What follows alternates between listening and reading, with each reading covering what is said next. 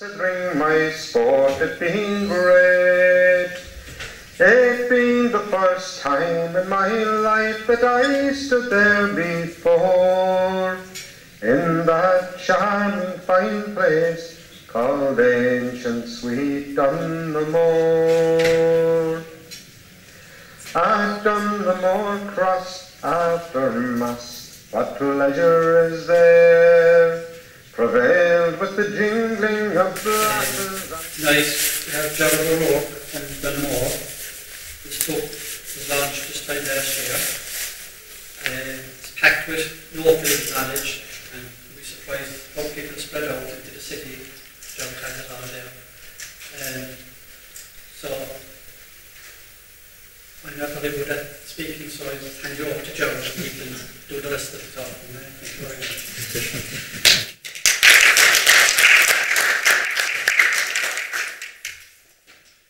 Good evening, ladies and gentlemen. Welcome to this evening's talk.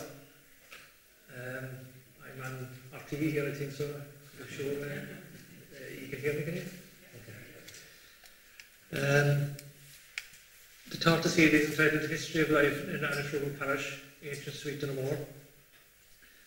Now, for those of you that are not aware of where Donoughmore is situated, it's approximately 25 kilometres west, northwest of the city, approximately 8 miles from Galway.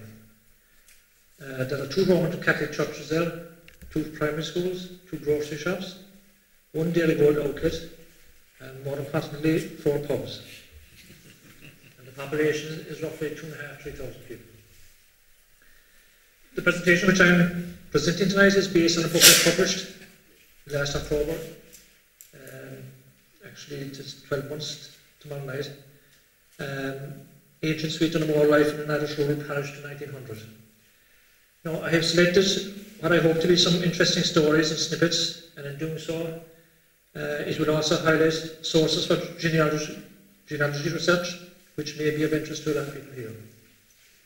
It is, it is in no particular order, so I ask you if you have any questions or thoughts, I'll try to answer them maybe at the end of the presentation.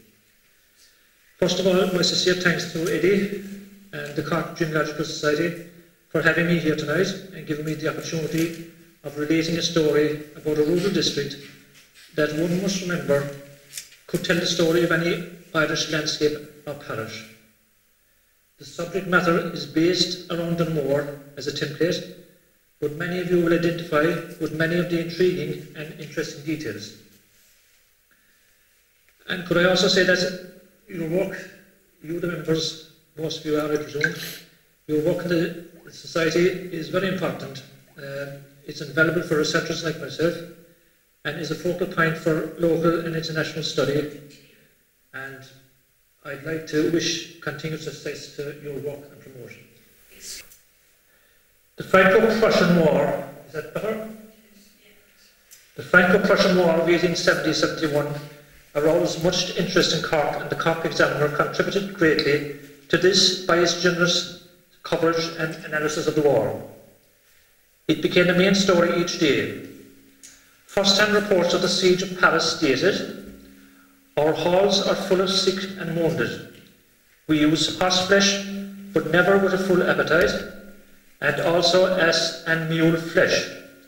We had one of these days a quarter of dog. High Sheriff proclaimed that the terrible sufferings of the French are present in our minds night as well as day. The Lord Mayor called a meeting to initiate steps in providing aid.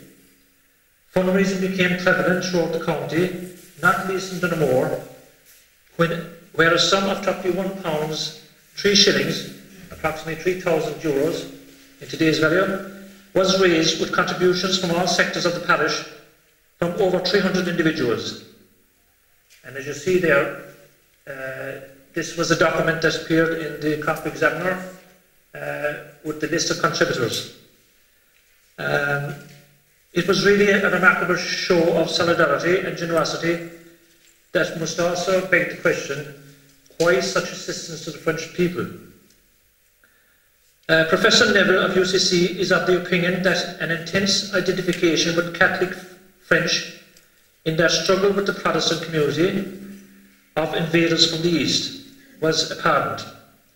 Another explanation could be argued that the response from Cork was a form of payback for everything France had given Ireland over the centuries, such as religion, education, refuge, food, and sympathy.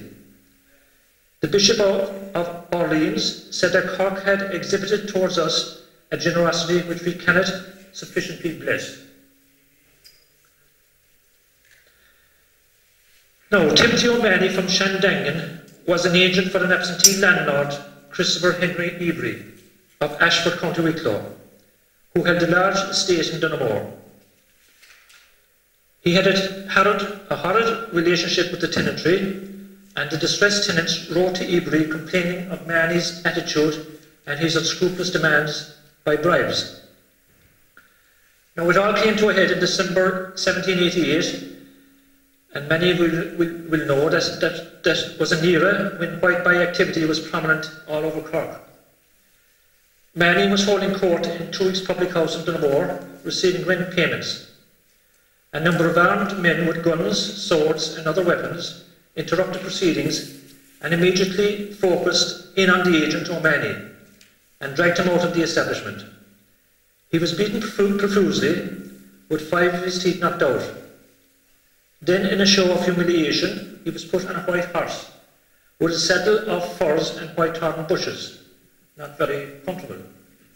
This was seen as traditionally as a symbol of cowardice. Many attempted to escape as his assailants debated on their next move. This action was a mistake on his part, as he was subjected to what was described as grief of a shocking nature. A bit graphic uh, paragraph follows. A stick was inserted into his mouth and his tongue pulled out and cut.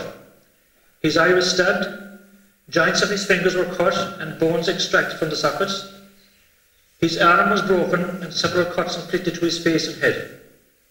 Left in a river, the attackers were confident that he would die a slow death. But the 70 year old miraculously survived and was able to give details of his attack to the authorities. Subsequently, 18 men were committed to the county jail. The incident created widespread condemnation, not alone locally, but was featured in the editorial pages of the Derby Mercury in Derbyshire in England, describing the incident as there existing in this kingdom wretches who equal in savage ferocity the Aborigines of America.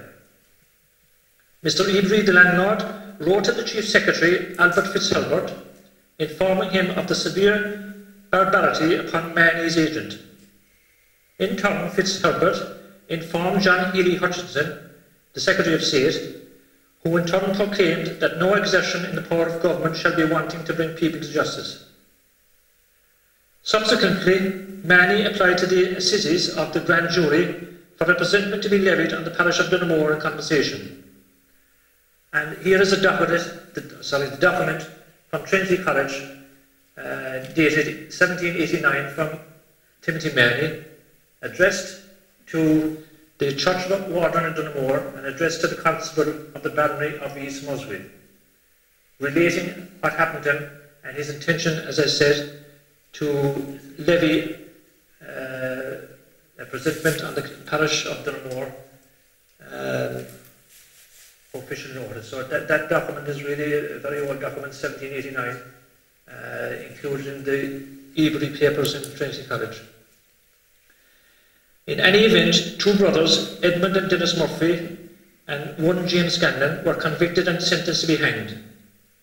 And in a show of defiance, and probably sending out a strong message uh, to all, the three men were executed in three locations, one in Blarney, one in Donoughmore and one in Ballinamona. So people thought again maybe maybe do something like that. Okay, so we go on to the slide. This is John Drew, an image, a Fenian, and the, the image is taken from the Fenian photographic file in the National Archives. He was described as a weaver of a different character, believed to be the active and dangerous centre of Donoughmore. Now, centre in this context was a term used for the head of a group of 10 or more Fenians. Drew was detained in Cork Jail, moved to Mountjoy Jail in Dublin, and was later discharged on condition he paid bail and left the country. And the authorities accompanied him to a ship in Dublin Bay, and he was transported to Liverpool in England. Drew's colleague and fellow Fenian, David O'Callaghan, a native of Donoughmore, lived in Eason's Hill in Cork City. He was assassinated in November 1869 in Penrose Quay in Cork. His cold-blooded murder was clouded in deep mystery. The well-known newspaper of the time, The Nation, stated his funeral assumed the appearance of a public demonstration. Placards were placed at the gates of all the city chapels, signalling the death of David O'Callaghan, may he rest in peace. The men of Cork are requested to attend the funeral from the Southern family, and God Save Ireland read the notice. He was obviously a respected and prominent member of the Fenians. Up to 400 young men assembled at the hospital wearing bands of crape. This was a black band around their arm, and marched behind the hearse. It then made a grand procession through the city, and on its route to Donoughmore, many people lined up at various junctions and joined the solemn procession. It subsequently came to light that Callaghan successfully smuggled goods regularly from London, where he was well known.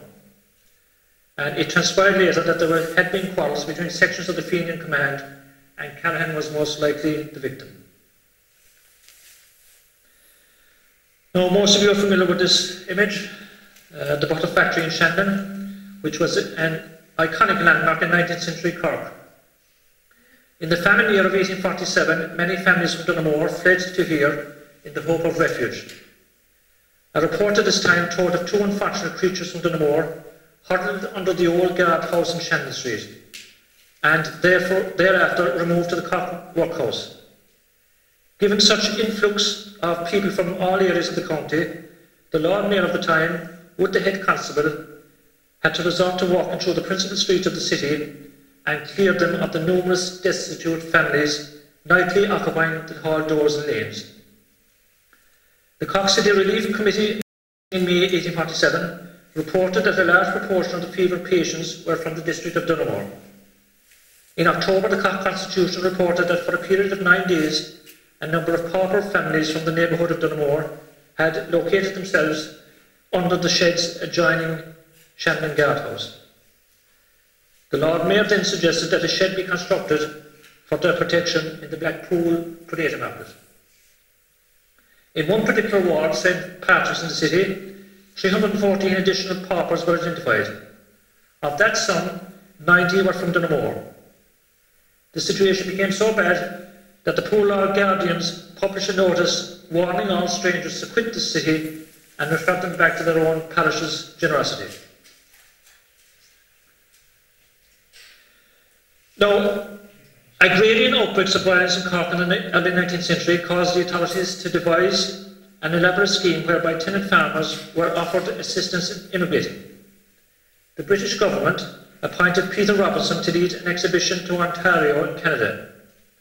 Nine ships left Cork in 1825 with over 2,000 selected tenants on board, all promised up to 70 acres of land and a new beginning. One such family were the Regans from Derry, Donoughmore, and their story is indicative of the trials and tribulations in making new life. Timothy, the husband, was sick when he embarked on the laborious journey, and Catherine, his wife, was eight months pregnant. Reluctant to leave her sick husband, she was ordered to another cabin with her four children aged 6 to 16. Having given birth to her fifth child, she was sent to the immigrant hospital on landing in Quebec. Her husband, still sick and isolated, was also sent to the hospital on the same day. Unfortunately, he died not having seen his newborn child. Further tragedy followed as Catherine, exhausted from childbirth and greatly mourned by her husband's death, suddenly died. The Regan children were now orphaned, and the ship's captain put them into care with an accommodating woman with eight dollars, the amount left to them by their hard-pressed parents. To compound the misery, it was discovered that their chest of worldly possessions were misplaced. a future of promise that to misfortune. Would they have been wiser to stay at home in Derry? Such are the crucial decisions made in life. This is a unique picture uh, of a person called John W. Hoonan, John William Hoonan, who was a farmer that resided in Derry, Donoughmore, and a popular member of the National League at the time. His life was changed dramatically in March 1890 when he was charged, among others, of assaulting Timothy and Catherine Reardon. In the subsequent trial, he was sentenced to seven years penal servitude. Now, his penal record file, which I retrieved after almost three years search in the National Archives, provides a fascinating story of the trial with detailed witness statements, his detention in Mountjoy jail, and the de de deposition's efforts to obtain clemency. Some notable people testified as his, his character, including Bishop McCarthy of Cloyne, C.J. Harold, Justice of the Peace, Robert Day, High Sheriff of Cork, involved with the Cork Historical Society, John Redmond MP, later to be involved with the National Volunteers, Charles Tanner MP for Mid Cork, and Maurice Healy, well-known MP for Cork City. Mr Tanner, at one stage, submitted a parliamentary question to the House of Commons regarding the well-being of Hoonan and whether in view of the mitigating circumstances attending his conviction an early release would be recommended. So that's there was there was images of Hoonan when he went into prison, but I picked this image of when he came out of prison. So um, it's, it's a unique a unique, unique image of a story. Now these are two standing stones in the moor in the townland of Meaconee. Now folklore tells us that they were possibly used for marking boundaries of land in pre-Christian times. The stones were seen as supernatural figures.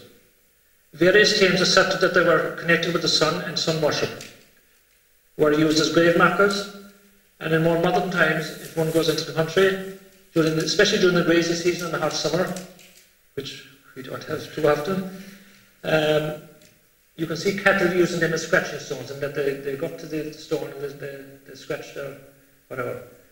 Um, that's what if, if you're in the country any day, you'll, you'll see that, especially in a hot, hot day.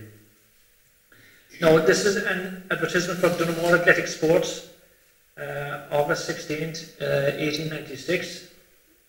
Um, the scene on the day must have been spectacular as the Cork Working Men's Band travelled on the Muskerry tram to the sports.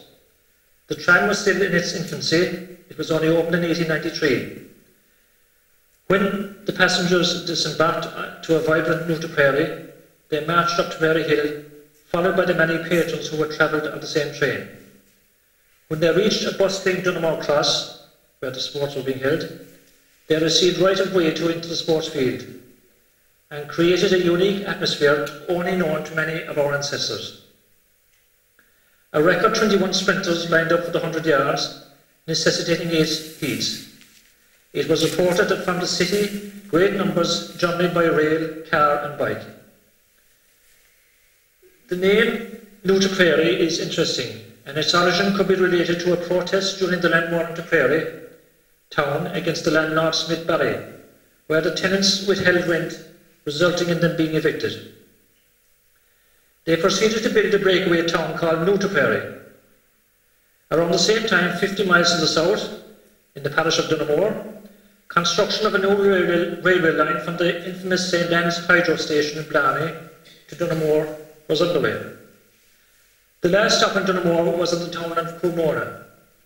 One theory is that with the episode in Tipperary town getting notoriety, eh, some wisecracks in Coolmorna decided it would be opportunist or appropriate to rename the location of the last stop as New Tipperary.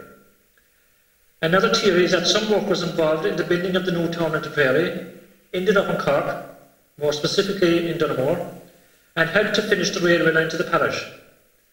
In recognition of their contribution and perhaps with a little persuasion, the Tipperary workers suggested that the location be called New Tipperary. I suppose it was perhaps a fitting compensation for their earlier efforts in their own county. Uh, this story was um, featured in uh, an Irishman's diary uh, back in June in the uh, Irish Times. Now, this was the Donoughmore number 5 locomotive, seen here stationed at the Cork Western Road, formerly Jury's Hotel, now, as you know, the River Lee Hotel. It weighed 25 tonnes, had a water capacity of 5,000 gallons, a coal capacity of 1 tonne. And the abbreviation there, CNMLR, stands for the and Muskerry Light Railway. Now, a caution to the public and a caution to the attendants here, I suppose, to take it on board. Um, an unusual advertisement, which I came across by chance in researching something else. Uh, the blanks are obvious for a reason. Caution to the public. I hereby warn and caution the public not to give my wife, she was named, any credit to my account, on my account, as I will not be accountable for her acts in future. Signed, her loving husband in Donoughmore, December 21st, 1870. Um, this is a narrative of the famine in Donoughmore. Uh, briefly, it appeared in the Southern Reporter, 1847.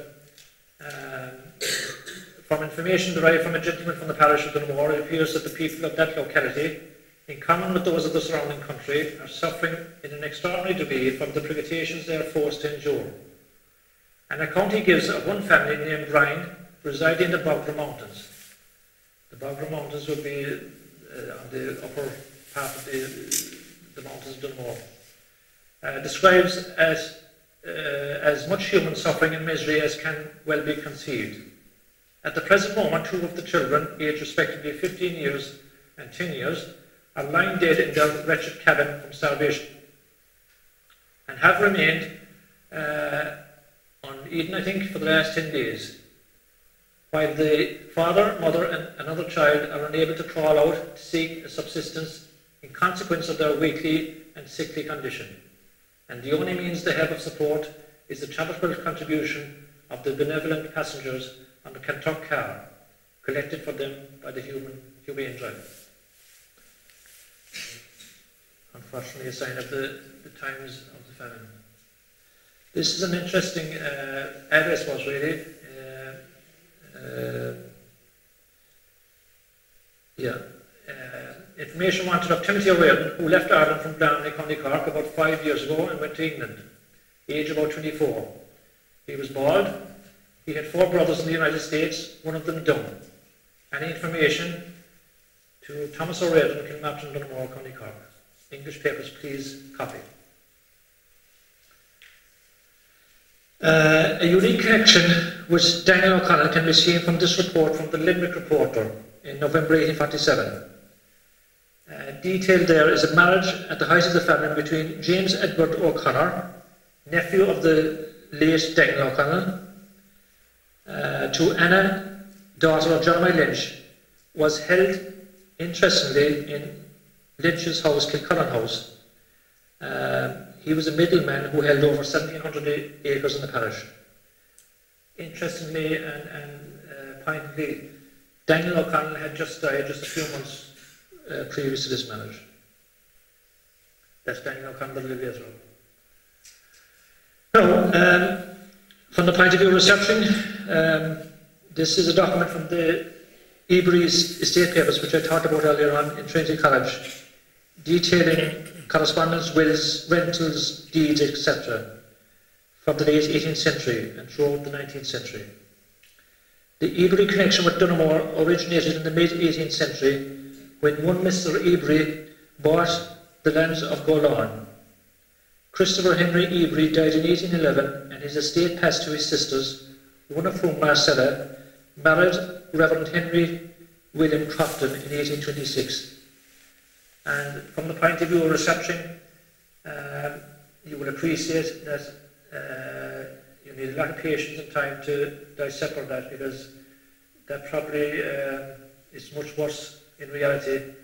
Um, so there's a lot of detail in it, but uh, it takes a lot of uh, patience and time to make it out. So that's what you're up against in these document papers.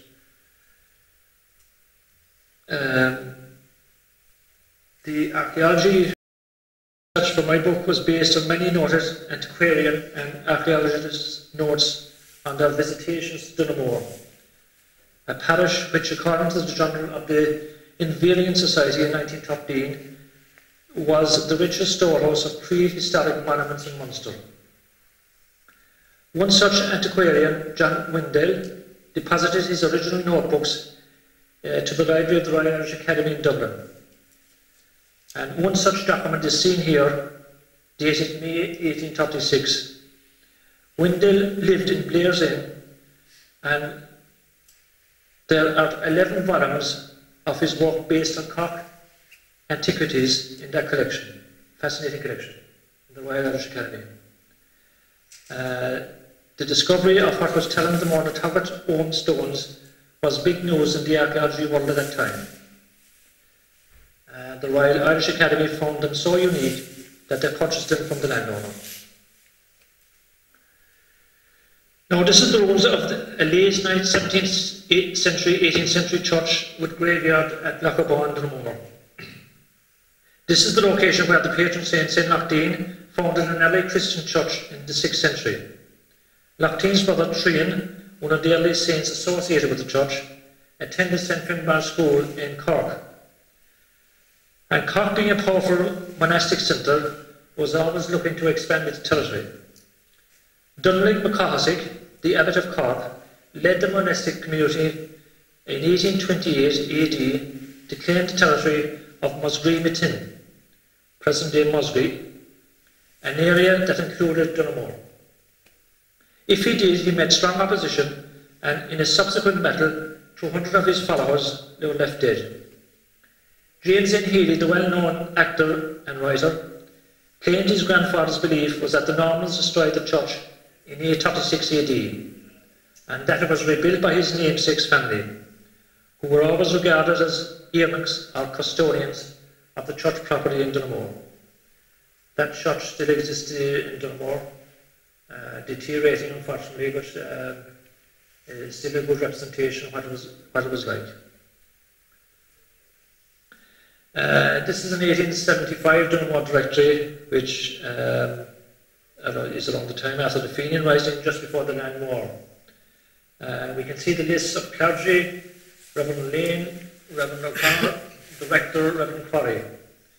Reverend Quarry was a great man for the uh, antiquities of the parish and, and spent his Sundays walking around looking for such like.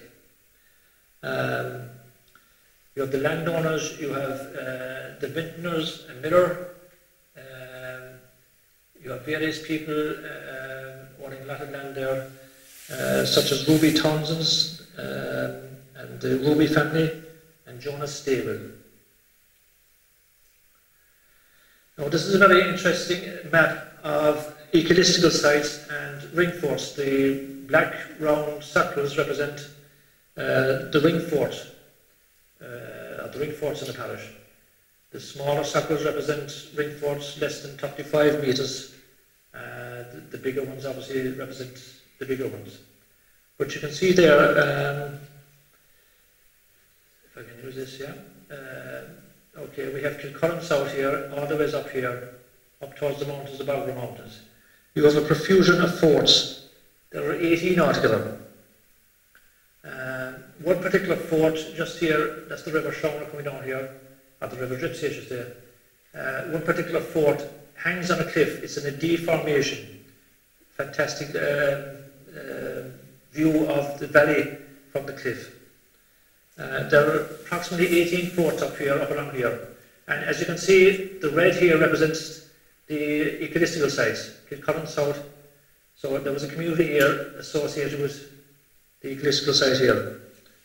Um, further on here, you see in the parish of Meanquani, Culmona, a lot of these forts here would have been associated with the ecclesiastical site in Donoughmore Cross, which we just saw, the ancient church. Um, and if we look further down here to Bunkilla, There's some forts there, not as much. That was an ecclesiastical site, and there was an old church there as well. Uh, and if we look closely on the borders here, a profusion again of forts uh, on the borders with Grenagh. Uh, they must have been very uh, formidable opponents because they, they seem to have it protected fairly well just there. Um, then you had Killeen down here, Kileenig. Uh, that was another ecclesiastical site there. So to just give you a flavour of what is in the parish, um, uh, these are just the forts in the parish. And you can see the, the, the profusion of, of, of those around there. Now this is um, the book of survey and distribution. Um, when I was doing the medi medieval chapter in the book and the assessing of sources, uh, it presented a very big challenge because you were dealing with a lot of Latin references and Old English. Um, the Book of Survey and Distribution, as many of you will know, were summarised records of the transfer of land forfeited during the Catholic Rising of 1641. The place names are interesting as they are the denominations which existed between 1636 and 1660. Uh, there are no tenants recorded, which is a pity because it, it would have been of much interest. Starting from the left here, uh, we have the names of proprietors in 1640-41. Um, the location of the lands in Donoughmore, uh, the number of acres, one column here, profitable and unprofitable. This was determined by the Down Survey. Uh, the names of the post-1660 proprietors after the Cromwellian Wars and the new owners after the Williamite Wars. Uh, Stephen Ludlow, most probably an adventurer who had provided financial backing to the war uh, or was a soldier and was rewarded with, with, with these lands. And the various symbols here, uh, W and etc., other symbols here, uh, they indicated whether the, where the land was disposed of, whether it was by court, patent or otherwise. Now, the well-known family the Healy's, owned 6,000 acres of land in 1641, and all of this was confiscated after the rebellion. It was not until 1660 that the Earl of Clancarty, formerly, formerly Lord Muskerry and from the McCarthy dynasty, regained his lands when Charles II was on the throne. But the Healys still did not win back their lands. A remark by one of the Healys in talking about the McCarthy lords came back to haunt the family. While Macca's lord might be forgiven, as a follower he would not be. Subsequently, some Healys did lease land from McCarthy's, but in many cases they immigrated and became part of the wider wild geese serving in the French and Spanish armies. Cromwellian battle sites documented in earlier maps with names such as Putney Narragaig, the Bog of Slaughter, Barna na Trasna, the Gap of Strife, and and Orr, the Hill of Slaughter. These are all symbolic of the brutal outcome. You can see here now the various um, spellings and placing into locations. Um, the Healy, interesting, that's the way to spell now, Healy. Various uh, variations of the Healy name, or O'Healy, Valley Carrigunton land, these were the various spellings at the time. Coolmora, Coolmonies, Fornox, Valley Cunningham. Now Donoughmore itself had various names as well. And just for people, Dennis for Dennis and Fulu for Foley. Um, that's the Cromwellian Wars. Now this is uh, House in Donoughmore. Uh, at one time, a McCarthy clan dynasty where they lived. Now, I don't know what the Volkswagen Beetle is doing there, but it's, it's there in there. Uh, that was one of the most popular cars at that time, whatever year that was. Uh, now, not far from here was the location of the Ford family home. And an interesting story emerges here. Michael Ford immigrated to New York in 1893. And in the evenings, he frequented the lobby of a building in Greenwich Village in Lower Manhattan, where fellow immigrants and locals met and chatted. Now, he befriended, uh, befriended one particular gentleman by the name of Samuel Clemens, who was seen most evenings writing uh, in his desk. Now, that man, of course, later was more well known as the author Mark Twain. And descendants of the Ford uh, family in America still have in their possession the writing desk used by Twain. Now, this is a close-up of the Glebe House in Coolmore, Donoughmore, built by Reverend Horatio Townsend in 1752. He was rector of the parish for 40 years. One of his descendants, Charlotte Payne Townsend, wrote a book entitled Mrs. G.B.S. The title influenced by her marriage to George Bernard Shaw. Given the close family ties and the culture of visiting the big houses, for hunting, horse riding, attending balls, it is not beyond the bounds of possibility that Shaw accompanied his wife here to Donoughmore, to this house. Uh, the house was later purchased by the Catholic Diocese of Cloyne at the turn of the century. Reverend Michael Toole was the last clerical occupant. And he swore he could, that uh, at night time there were strange noises. He could hear the horses coming up from the road, up the, the old avenue. Uh, he said, I, I, remember talking to him, and he, he, said he did get very used to it, and he did take much notice of it. But definitely there was something eerie about the place. And for a house going back to 1752, with all its history, uh, it, it wouldn't be very unusual. Now, this is an image I have in the book. Uh, I'm just reproducing it here to create and help to appreciate the magnitude of these stones. Uh, it is noteworthy to record that folklore tells us that a farmer died here when a, when a falling stone crushed him as he was looking for treasure. Father John Murphy, local curate, documented that a print of a human foot cut into one of the stones and that there was also a cut mark detected. These are massive stones that they don't, you don't get the, the sense of until you're up close to really. Now, this is the capstone of what was an unclassified megalithic tomb in Coolican, in the Archaeological Inventory from the Cork. This in its entirety was a burial chamber of cremated remains built of large stones and covered by a mould of stones with an entrance at one end. The capstone was the top of the, the formation uh, and was probably supported by upright stones.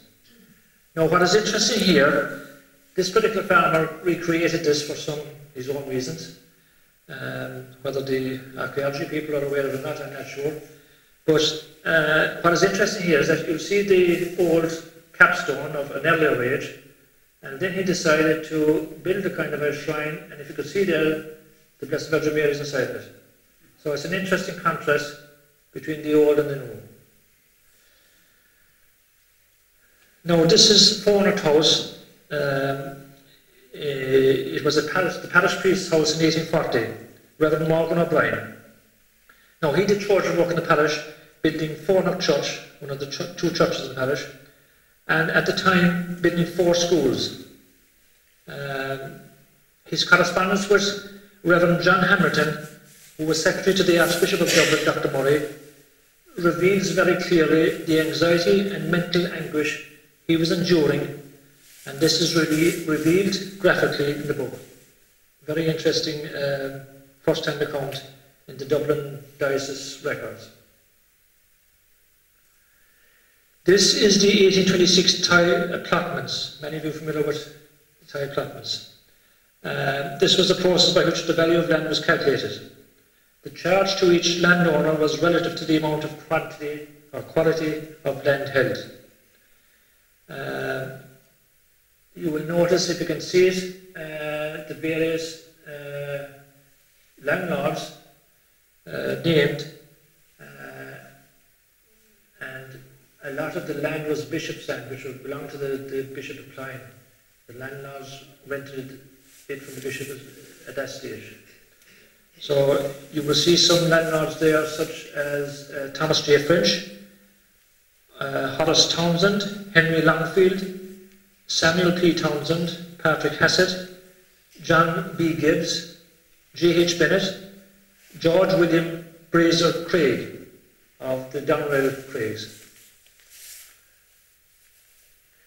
This is uh, again a unique inside view of a ring fort, one of the biggest in Donoughmore. Um, you will see the Acton Bank out here, which is the entrance, and then you have what they call the fosse. The from that was built, uh, was used to build this interior ditch. This is about 12 foot high. So you have the entrance in here, a big ditch here, maybe uh, 10 foot high, into the, the hollow here, and then up here, and you're into the ring fort. And in here is a souterrain. Um, so it was specifically, as many of you will know, these ring forts were built for security protection.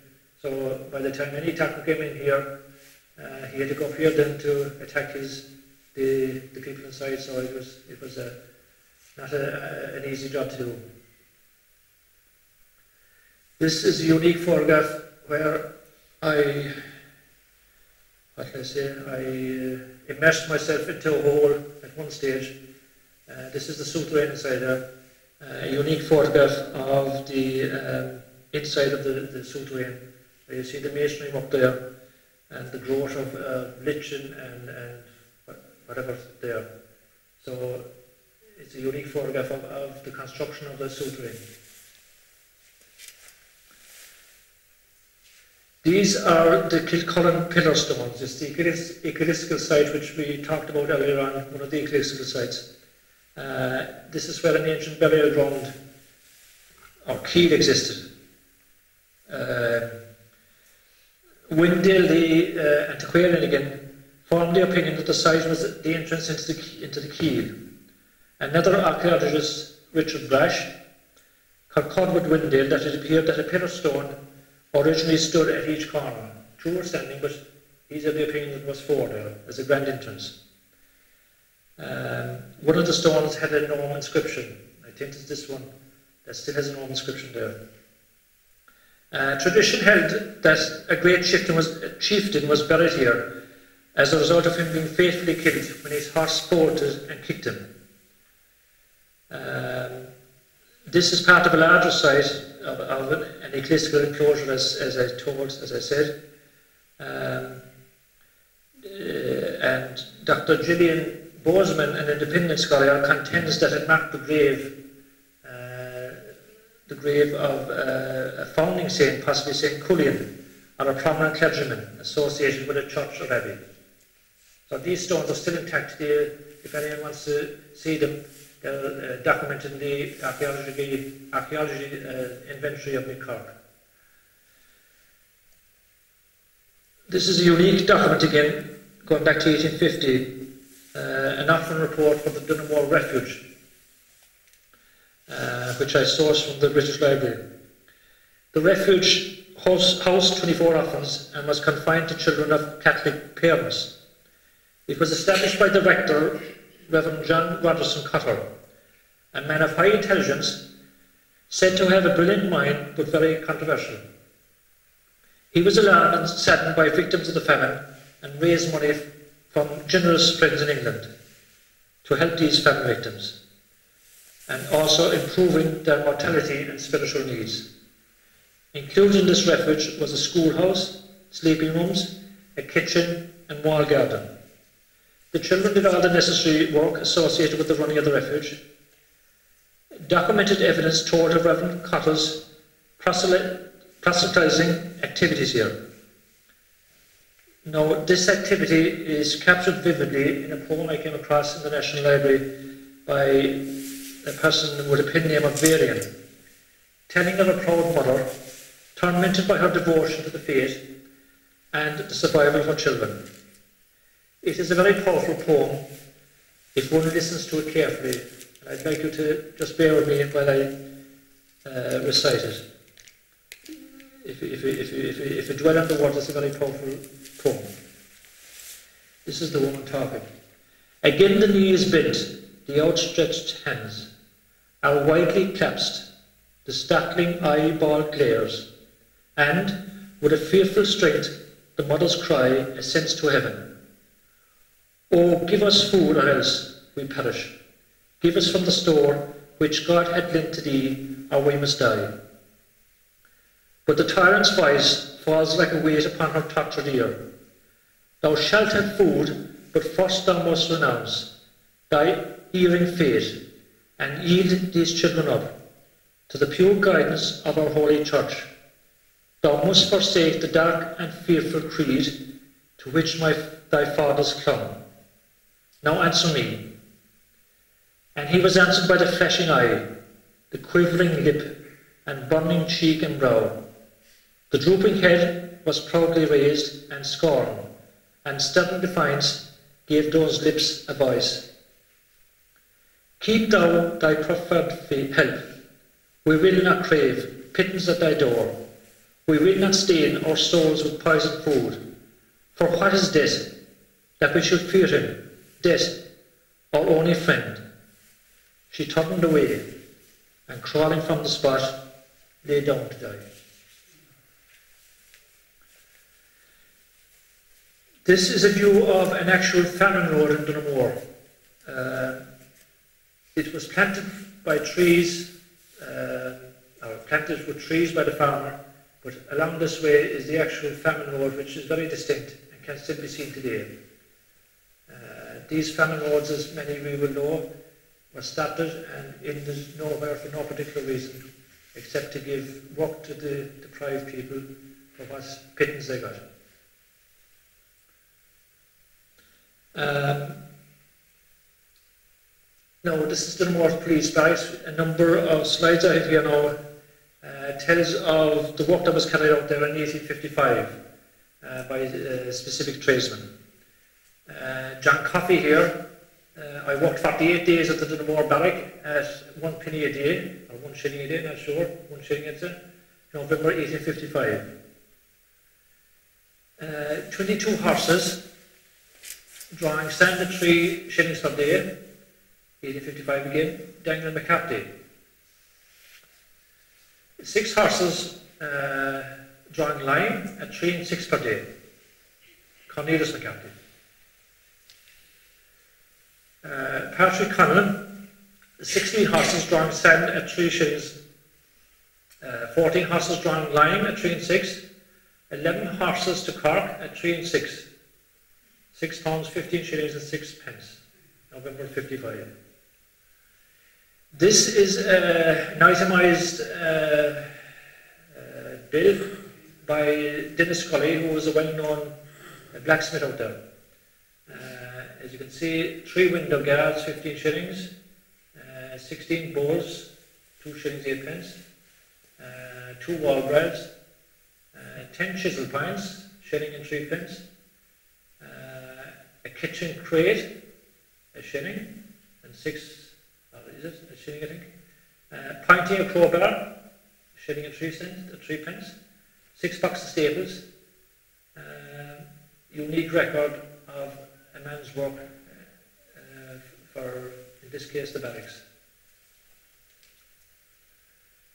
Um, this gentleman, Matthias Gallagher, again 1855, he slated the Donoughmore barrack and found it to be uh, 17 square at 5 whatever per square. Uh, but he was very uh, humane and he charged, uh, he made an allowance for the chimneys, five, five shillings. These again are, are very unique documents that uh, I found in my research. Now of interest to people in the city, not Main Street especially, this was uh, trader, Dennis Connors, who did oil, dye stuff, paint, pitch, tar, resin, machine grease, sheet lead, plaster uh, Portland cement, uh, window glass, malt hops, etc. 15 North Main Street. As you can see there, uh, Charles Daly was the agent for the landlord which we talked about, Ebury, and he got some provisions for the school. And to tell you of the dereliction and uh, sad state of the school, I suppose, he had to get 22 panes of glass and 7 pounds of putty. Um, now, this is uh, James O'Sullivan, a teacher in the Ebury Crafton School. Uh, just acknowledging uh, a receipt, uh, having received from Reverend Crafton uh, the sum of £1 13 shillings and 4 pence sterling, being the month's salary due to me as teacher of the Donoughmore School, recognised and supported by the said Reverend Crafton. Uh, 1847, so that really was right in the middle of the famine. Now, the same John Sullivan was an enterprising guy. He, he, um, he sent a letter to uh, the antiquarian Windele in 1847 as well. I wish you could uh, get me some sort of a job to transcribe, he said. There are bad times and anything would be better than being idle before and after school hours. I venture to say I will give satisfaction to any gentleman that will honour me with his communications. I can write well, uh, and I will write fair and legible. And he continues, as you have such a host of friends who, whose delight is in the Irish language, perchance one of them might give me a few crumbs to pick by writing at intervals from them. Uh, he talks about his wife and his two little ones um, and bemoans the fact that he's surviving on the 20 uh, sterling a month the Lord has provided, he said, and the Lord will again. Now, this, for those of you that are interested maybe or doing some research, this is another uh, genealogical, uh, genealogical source, uh, the Register of Trees, which is a series of uh, Register of Trees in the National Archives. Uh, this was a documented registration system where a landlord or a tenant could plant trees in his holding. The tenant could claim the value of the trees on his lease expiring. In order for a tenant or landlord to prove he had planted the trees, he was obliged to register them. Now, in this slide, it's a faint slide, but it, is, it, it tells of John Roby of Curra in Donoughmore. Um, he registers in 1844, and the trees that he registered uh, were as follows. He planted 700 oak, 600 ash, 200 beech, 700 larch, 400 Scotch fir, and 200 spruce.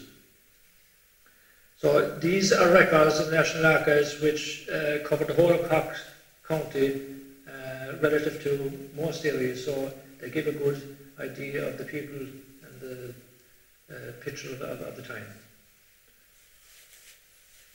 Now this area uh, is unusual in Donoughmore. It's called a kill, uh, the townland of Knockaroke. Uh, the kill, with its 7th century connotation, had an ecclesiastical reference to a church and monastery. Uh, the Cork inventory says this is a possible burial ground and records a further burial ground adjoining a house to the east here. Now, down the road here, just down here at the corner, is St. Lochteen's Well. Uh, that's another story because uh, uh, in years gone by there was a desecration act committed here and it was said that the well moved to Grenagh. So it's no more down there really, but the location is still prominent there. Um, there also in this area here uh, the possibility that it was a kiln where unbaptized children were buried, as according to church law they could not be buried in consecrated ground. Um, it was not unusual that these type of grassy islands were used and called children's crossroads. So obviously an archaeological survey here would reveal a lot of stories, I presume, and, and a lot of detail. Now, we talked earlier about the Mother uh, stones there was four stones uh, found in the Waterman stage. This was the first stone. Uh, this was an image from the National Museum where I sneaked uh, an image when I wasn't supposed to sneak an image. But anyway, this was uh, a pillar stone where was, you could see the hole there on top. And you see the distinct Ogham writing here. It's, it's um, pride of place in the treasury room of um, the National Museum. Um, the, if we move on to the next one, this is St. Lochdean's Reliquary, which is featured on the front of the book. Um, now, the, this was um, this is also in the treasure room of the National uh, Museum, uh, and I suppose Donoughmore is very fortunate that they have two uh, very prominent features uh, in that uh, front room of the Treasury uh, room. Um, no, okay, what am I? Yeah, this is in the shape of a hand, as you can see, and crafted in bronze. Um, it's regarded uh, by scholars and esteemed antiquarians as one of the most important and finest examples of 12th century Irish metalwork. Um, a cavity near the fingers uh, held the relics of the patron saint St. Finbar or St. Lochdean. Um, and Charles Smith in his book of, of Cork, The History of Cork, stated that it was used as a holy relic in which the community swore on the most solemn occasions. Uh, over the years it has deteriorated in, in, in, in size, uh, not in size, but in, in, in features, I suppose. But it, it was once a very um, uh, authentic and, and beautiful piece of, of, of craftsmanship, and still is today. That can be seen in the National Museum as well. This is a letter from the Commissioners of National Education to the Chief Secretary of Dublin, re a petty session clerk. The petty sessions were the local courts at the time. John Carroll was principal of Ballykirby National School and was a part-time clerk at the Hadelan Petty Sessions. His dual role was frowned upon by the Commissioners of National Education. It came to a head in 1880 when it was learned that he was absent for two days from his school. Canon Pope, as manager of the school, said the principal was being interviewed for the clerk position in the Petty Sessions Court. Uh, his role in the Petty Sessions Court just involved one day in the month. Correspondence followed between the Register of Petty Sessions in Dublin Castle and the Education Commissioners regarding Mr Carroll. Canon Pope received a letter from the educational body threatening that if Carroll was not relieved of his duty and a new principal appointed, school grants were to be withdrawn and the school was placed on the suspended list. Uh, the manager had a change of heart, uh, as you can see from this letter, and uh, he says here, I regret moreover to be obliged to add that uh, Mr. Carroll not only refused to resign office uh, as clerk of the petty sessions, but he uh, defiantly refuses to conduct, uh, refuses to, to uh, re, uh, it is um, uh, abolish, uh, I'm quite sure it's very hard to read, in other words, he, he wasn't one to resign um, without the intervention of the, the manager. Um, in either way, um, he took the Lord Lieutenant in Dublin Castle um, to sort the situation out, and in, in, in time, unfortunately, Mr. Carroll had to resign his position. So this went all the way to Dublin Castle, as you can see here um, in, in, in the record. So it was tough being a teacher at that time, I can tell you. Uh, again, uh, the Townland of Barraquari, you could see the different um, uh, scenarios of uh, surnames and people and connections. This was the Looney who was uh, Ní Toomey, and these are Toomeys down here. This Thomas Toomey was a bog ranger.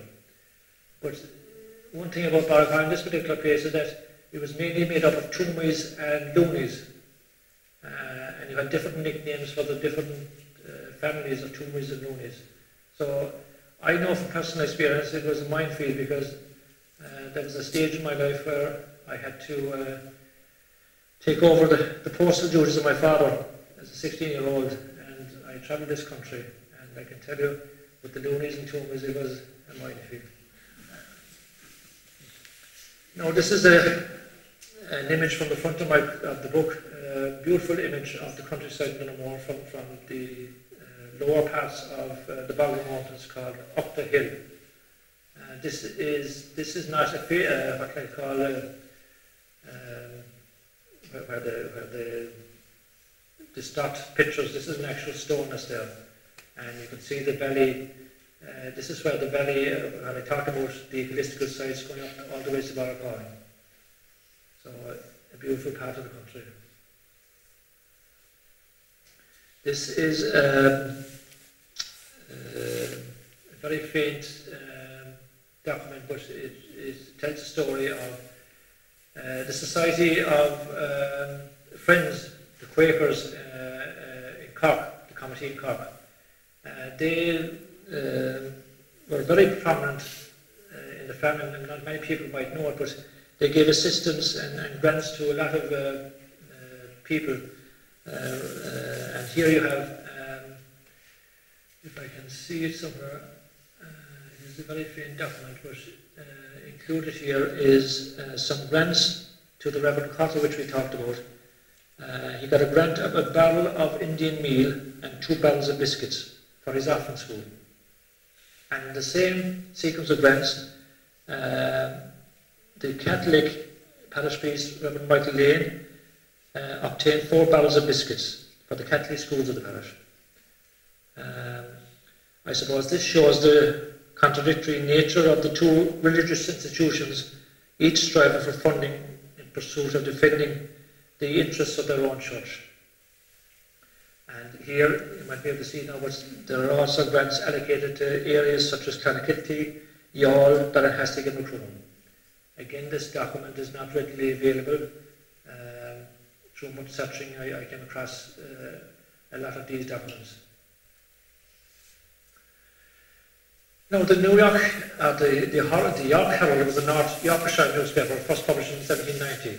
In its edition of January the 5th, 1899, it recorded in January 1898 Daniel Callaghan from Donoughmore, County Cork, was said to have reached the extraordinary age of 128. And if, as reported, he was a vigorous young man during the selling times of 1798, the article concluded that the statement may be perfectly true. How true that is is another story. Uh, again, is a faint picture of uh, the rental account of the landlord Reverend Crofton in Donoughmore in 1850, uh, detailing the town land, the tenant's name, um, the arrears due uh, in November 1850, the uh, amount of one year's rent in the second column, the total rent in arrears in November 1851. Uh, and here on the side there was some remarks that were made as well. Uh, this is the same one here for uh, the estate as well, so it gives a unique perspective of uh, the time.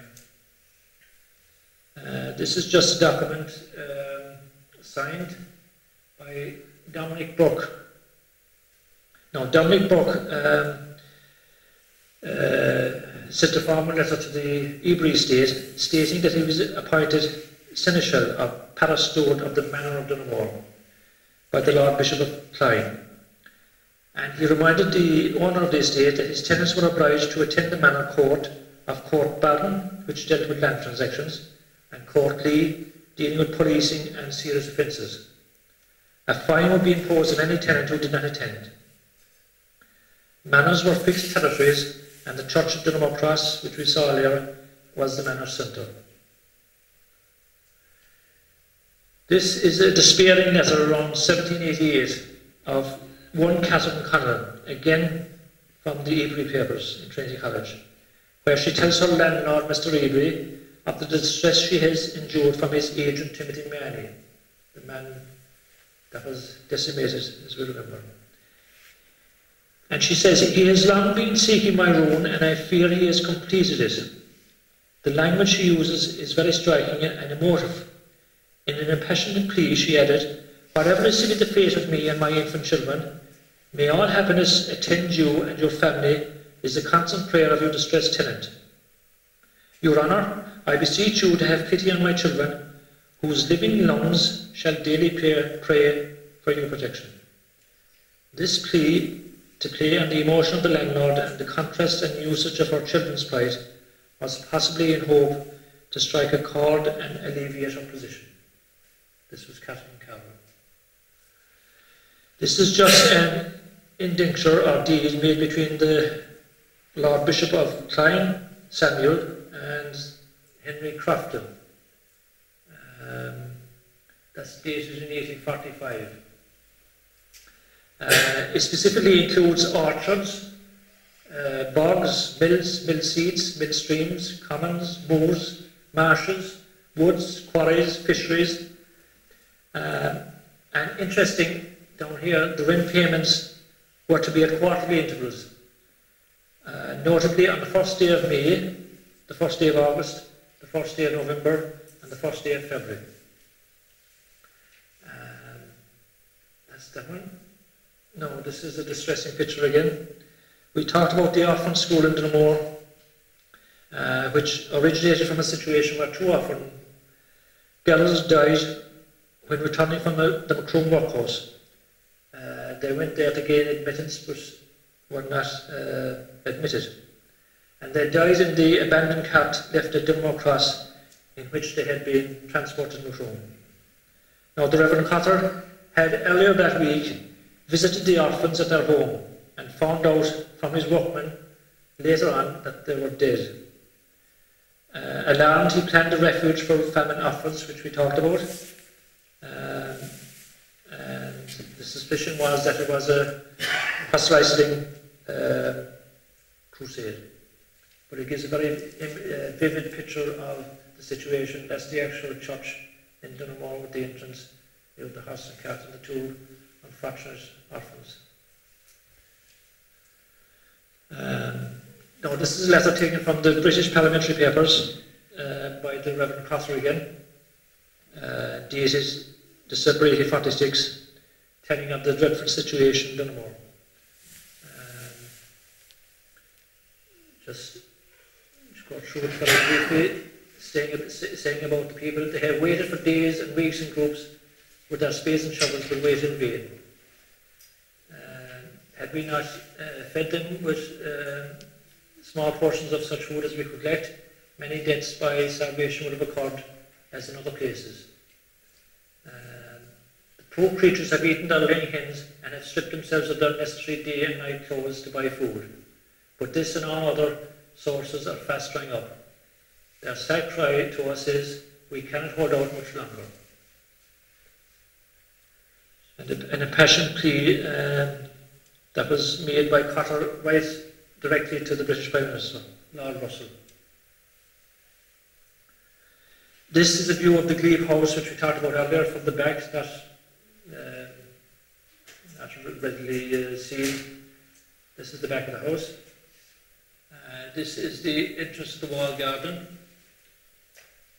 Now, an unusual but striking feature of the Glebe House, looking at it from the lawn, the entrance door. Uh, again, this is um, documented subscription list um, from 1846 sent to the Relief Commission Office in Dublin. Uh, contributions from the landlords of the area. But you will note a significant contribution here. Um, uh, yeah, Patrick Murphy, labourer, one shilling how he how he came to have that money or had the the humane uh, desire to give it is another story. And you also see here that the Donoughmore police uh, gave 10 shillings. You have well-known landlords there and the, the priest, Reverend Cotter gave a contribution of five pounds, uh, Horace Townsend five pounds, Samuel P. Townsend ten pounds. This is just uh, an idea of what um, you might come across in research. This is the National Archives again, um, where um, it details the famine distress papers.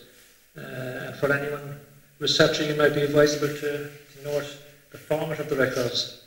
Uh, it's a complicated index system, as you can see here, D1410. C represents the person concerned, which in this case was Reverend Cotter. Uh, Mora's index there, you have various uh, references. Um, and depending on the filing system, uh, out of those four references, you might they might be unable to find one because they've been misfiled or whatever lost down through the years.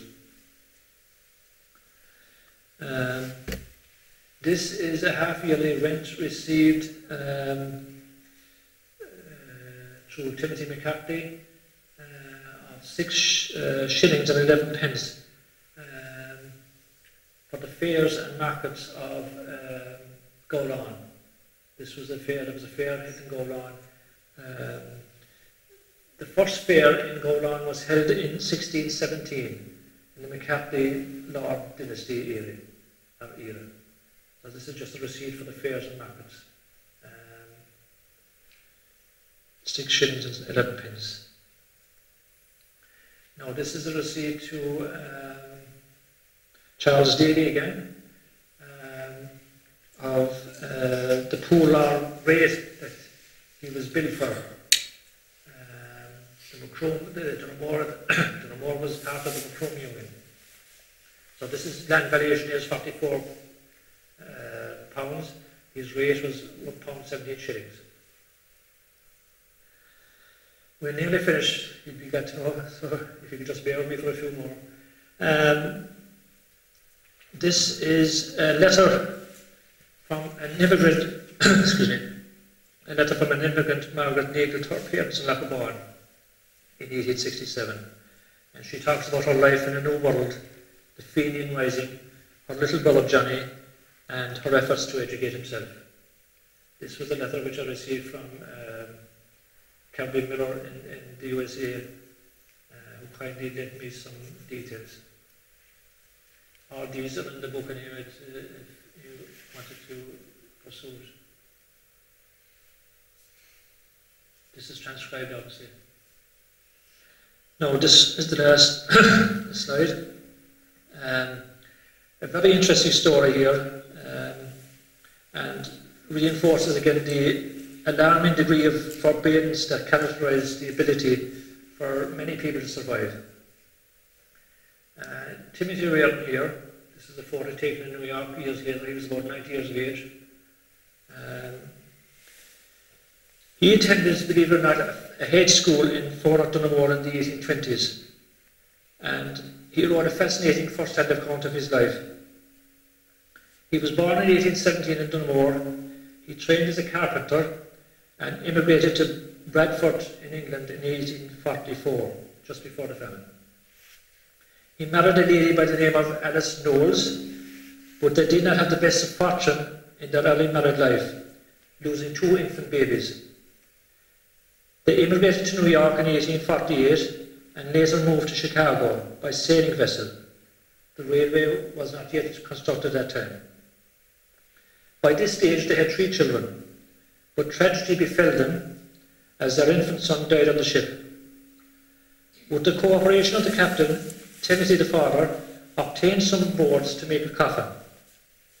In a remarkable situation that must have been emotionally difficult, Timothy and his wife buried their son on the Michigan shore on a scheduled stop for timber.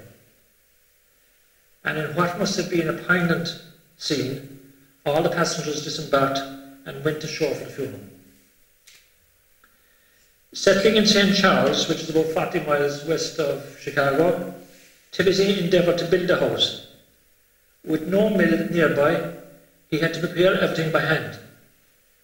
And after his day's work, Timothy devoted his time to construct the house and he said, uh, remarks in his notes, from the 4th to the 16th of July, I never undressed to go to bed. He then added, all my plans for the future were upset. His wife died in childbirth, and though the newborn baby survived, it only lived for a month. Following this traumatic event, Timothy was, as he said himself, introduced to a widow and was married within a week. He was blessed with three sons, but his tale of woe continued. One of his sons was sick for a year, but died at the age of 14. Another son cut his knee with Timothy's chisel and was forced to put his leg in ice for two weeks. Nearly recovered, the young boy did the unthinkable and dropping the same chisel, cut his leg once more.